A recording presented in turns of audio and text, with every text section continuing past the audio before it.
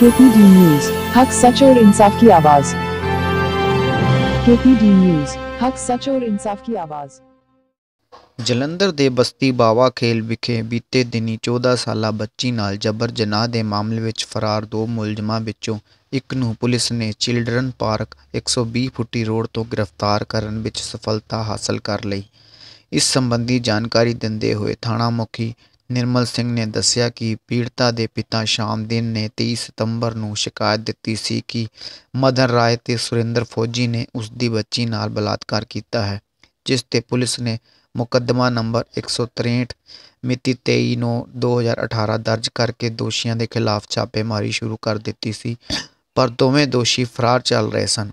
Police ਨੇ ਮੁਖਬਰ ਦੀ ਇਤਲਾਹ ਤੇ ਮਾਮਲੇ ਵਿੱਚ ਲੁੜਿੰਦੇ ਸੁਰਿੰਦਰ ਫੌਜੀ ਨੂੰ ਗ੍ਰਿਫਤਾਰ ਕਰ ਲਿਆ। ਮਦਨ ਲਾਲ ਜੋ ਕਿ ਪ੍ਰਵਾਸੀ ਹੈ, ਉਹ ਫਰਾਰ ਚੱਲ ਰਿਹਾ ਹੈ। ਪੁਲਿਸ ਨੇ ਦੱਸਿਆ ਕਿ ਜਬਰ ਜਨਾਹ ਦੀ ਘਟਨਾ ਦਾ ਮੁੱਖ ਦੋਸ਼ੀ ਮਦਨ ਰਾਏ ਸੀ, ਜਦੋਂ ਕਿ ਸੁਰਿੰਦਰ ਫੌਜੀ ਨੇ ਇਸ ਕੰਮ ਵਿੱਚ ਉਸ ਦਾ ਸਾਥ ਦਿੱਤਾ ਸੀ। ਜਲੰਧਰ ਤੋਂ ਰਵੀ ਗਿੱਲ ਅਤੇ ਸੋਮਾ ਹੰਸ ਦੀ ਰਿਪੋਰਟ। ਇਹ ਨੌ 18 ਨੂੰ ਇੱਕ ਸਾਨੂੰ ਸੂਚਨਾ ਮਿਲੀ ਸੀ ਕਿ ਸਤਰਾ ਮਹੱਲੇ ਦੇ ਵਿੱਚ ਇੱਕ ਨਾਬਾਲਗ ਪ੍ਰਵਾਸੀ ਬੱਚੀ ਦੇ ਨਾਲ ਰੇਪ ਹੋਇਆ। ਜਿਸ ਦੇ ਉੱਤੇ ਮੌਕੇ ਤੇ ਪਹੁੰਚ ਕੇ ਤਫਤੀਸ਼ ਕੀਤੀ ਸੀ। ਤੋ ਬੱਚੀ ਦੇ ਫਾਦਰ ਦੇ ਬਿਆਨ ਦੇ ਸ਼ਾਮਦੀਨ ਦੇ ਬਿਆਨ ਦੇ ਉੱਤੇ ਦੋਸ਼ੀ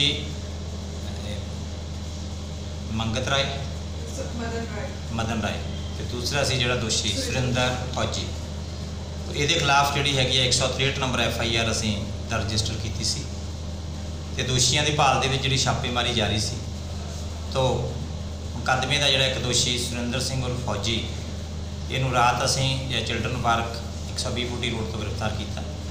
ਤੇ ਜਿਹਨੂੰ ਅੱਜ ਅਸੀਂ ਪੇਸ਼ ਅਦਾਲਤ ਕਰਕੇ ਇਹਦਾ ਰਿਮਾਂਡ ਲਵਾਂਗੇ ਤੇ ਅਗਲਾ ਜਿਹੜਾ ਦੂਸਰਾ ਮੁਲਜ਼ਮ ਹੈਗਾ ਉਹ ਪ੍ਰਵਾਸੀ ਹੈਗਾ ਉਹਦੇ ਬਾਰੇ ਵੀ ਅਸੀਂ ਪੁੱਛਾਂਗੇ। ਸਰ ਕੋਈ ਅੱਗੇ ਵੀ ਇਹ ਮਾਮਲਾ ਕੋਈ ਇਹ ਫਿਲਹਾਲ ਇਹ ਪਹਿਲਾ ਮਾਮਲਾ ਹੈਗਾ ਇਹਨਾਂ ਤੇ ਇਹ ਇਸ ਤੋਂ ਪਹਿਲਾਂ ਕੋਈ ਰੇਪ ਦਾ ਮਾਮਲਾ ਇਹਨਾਂ ਤੇ ਦਰਜ ਨਹੀਂ ਹੈ। ਸਰ ਇਹ ਦੋਨਾਂ ਰਲ ਕੇ ਕੀਤਾ ਫਿਰ ਇੱਕ ਕਿ ਇੱਕ ਨਹੀਂ ਕੀਤਾ? ਨਹੀਂ ਰੇਪ ਕਰਨ ਦਾ ਮੇਨ ਮੁਲਜ਼ਮ ਮਦਨ ਰਾਏ ਸੀ। ਇਹਨੇ ਉਹਦੀ ਅਸਿਸਟੈਂਟ ਕੀਤੀ ਸੀ ਇਹ 120 ਦਾ ਮੁਲਜ਼ਮ ਹੈਗਾ ਇਸ ਕਰਕੇ ਇਹਨੂੰ ਅਸੀਂ ਗ੍ਰਿਫਤਾਰ ਕੀਤਾ। देश विदेश और अपने शहर की लोकल खबर के लिए हमारे चैनल को सब्सक्राइब ज़रूर करें और घंटी के बटन को ज़रूर दबाएँ। आपका मनपसंद न्यूज़ चैनल के पीडी न्यूज़ हक सच और इंसाफ की आवाज़ आपको रखे सबसे आगे।